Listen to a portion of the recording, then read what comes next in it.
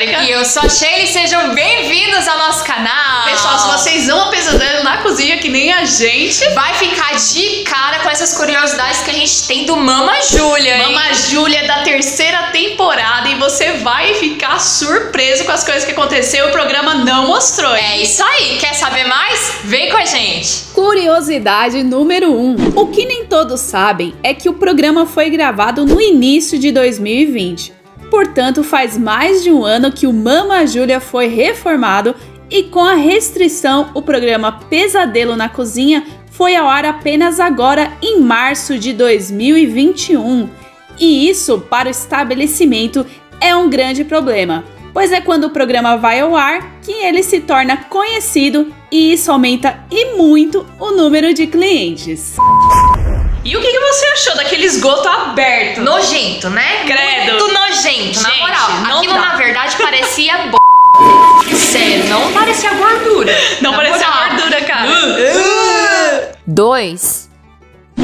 Em entrevista para o portal da Band, Álvaro Ramos, mais conhecido como Cachorrão, conta que após a gravação do programa Pesadelo na Cozinha, quase perderam tudo. Demitiram todos os funcionários, fecharam as portas e quase entregaram ponto alugado, pois o prédio foi vendido e o novo proprietário pediu espaço.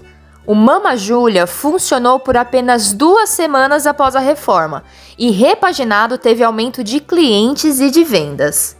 Acho que o Álvaro bebeu. Na moral, meu, quem é que bebe na hora do serviço? Cachorro não tá de brincadeira, né? Vixe, mas você tá tomando. 3. Para manter o restaurante Mama Júlia até a estreia do programa Pesadelo na Cozinha e com esperanças de uma fase melhor, o casal sobreviveu entregando marmitas em uma obra.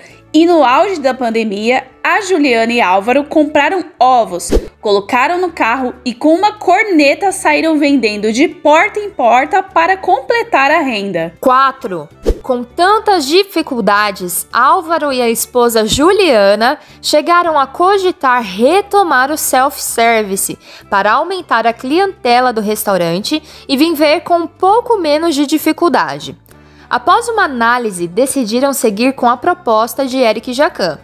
Então Álvaro disse: Foi feito um trabalho de ótima qualidade e acreditamos e investimos todas as nossas fichas nele. Com a retomada dos serviços por entrega, a nova aposta da casa é a contratação do chefe Fernando, que tem experiência na cozinha e promete executar com excelência o menu elaborado pelo programa. E será que a Mama Júlia tá do jeito que o Jacan deixou, gente? Passou um ano, gente. Será que realmente tá do jeito que tá reformado? Será que a comida tá boa? E principalmente, gente, será que o cachorrão melhorou? Já se inscreve no canal que assim que passar a restrição, a gente vai lá e mostrar tudinho pra vocês. Caso a gente já tenha ido, a gente vai deixar linkadinho aqui no card tudinho sobre a nossa visita. É isso aí, pessoal. Esse foi o vídeo de hoje. Esperamos que vocês tenham gostado. Deixa aquele super like e até o próximo vídeo. Um beijo e tchau!